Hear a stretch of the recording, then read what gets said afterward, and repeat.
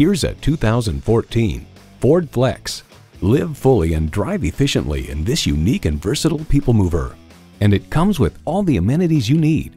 V6 engine, dual zone climate control, streaming audio, configurable instrument gauges, front heated bucket seats, power heated mirrors, external memory control, aluminum wheels, Wi-Fi hotspot, and automatic transmission. Car and driver hails inside and out. The Flex is dazzling. Panel gaps, paint, surface textures, all are superb. Built on tradition, built to last. Ford. There's even more to see in person. Take it for a test drive today.